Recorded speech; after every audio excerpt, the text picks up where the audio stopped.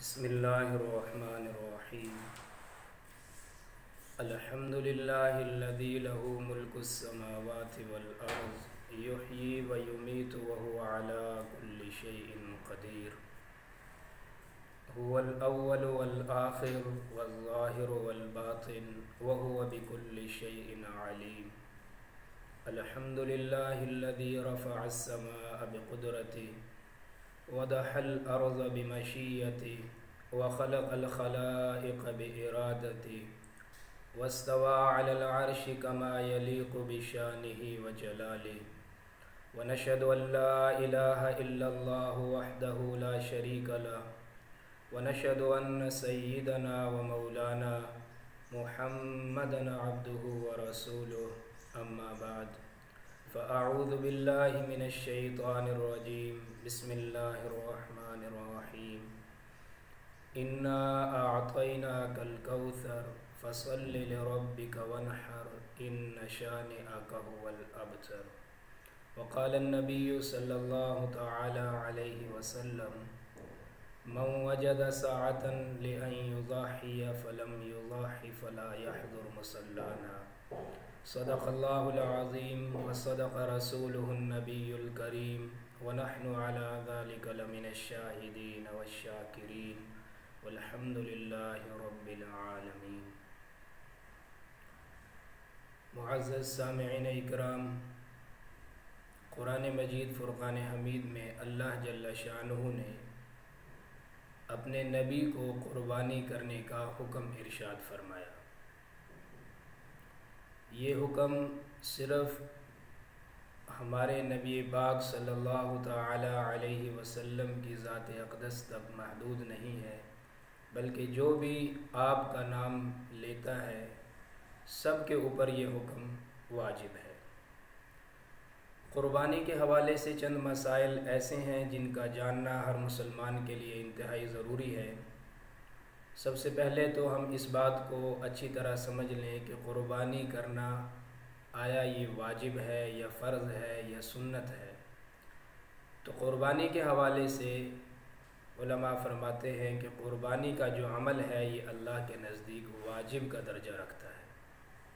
और वाजिब जो होता है, वो फ़र्ज़ के करीब करीब होता है। क़ुरबानी करने में सबसे पहले इस चीज़ को भी मद्देनज़र रखा जाए कि क़ुरबानी किस इंसान पर वाजिब होती है। उसके लिए पाँच चीज़ों में से किसी भी एक चीज़ की मालियत इतनी हो जाए जितने रकम से साढ़े बावन तोला चांदी ख़रीदी जा सकती हो।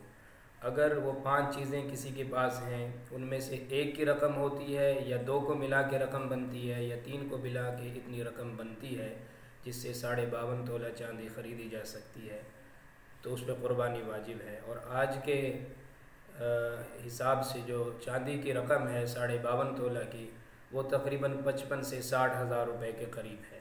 तो जिस बंदे के पास नकदी पचपन से साठ हज़ार रुपये हों, या चांदी उसके पास साढ़े बावन तोला है, या सोना उसके पास साढ़े सात तोला है, या पचपन से साठ हज़ार रुपये का उसके पास ज़रूरत असलिया से जायद घर में सामान रखा हुआ है या पचपन से साठ हज़ार रुपये का उसके पास सामान तजारत है तो ऐसे बंदे पर क़ुरबानी करना वाजिब है।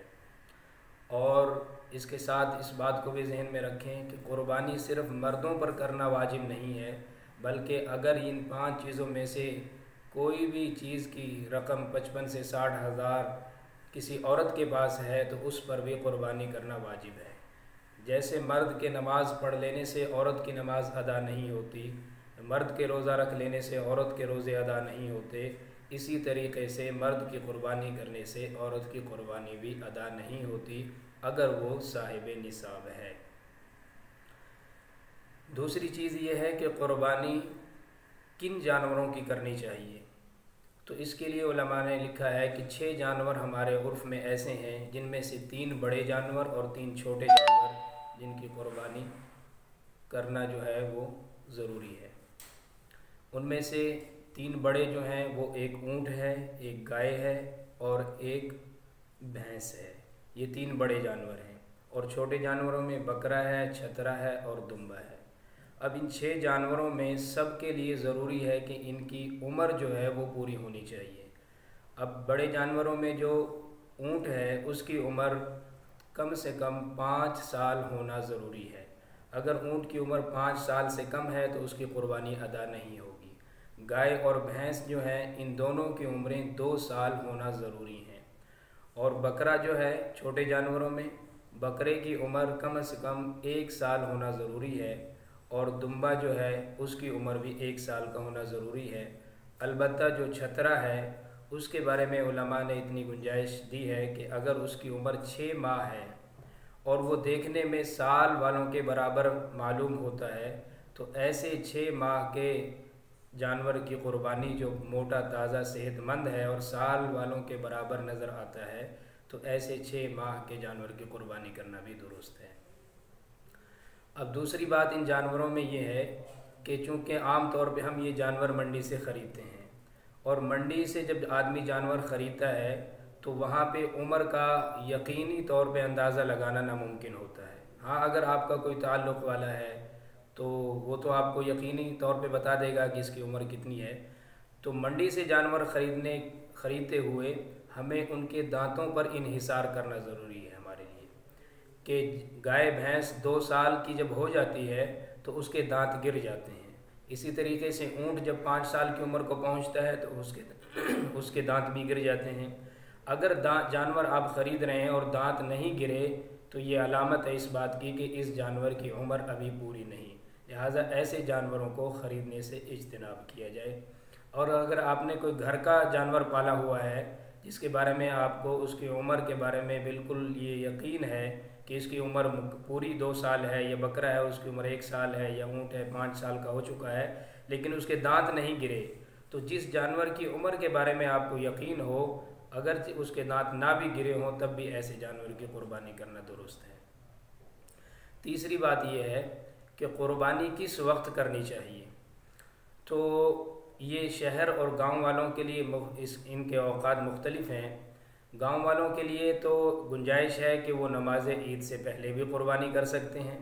लेकिन गाँव से मुराद वो गाँव हैं जिनके रहने वाले लोग नमाज़ ईद पढ़ने के लिए कुछ थोड़ा बहुत सफ़र करके जाते हैं।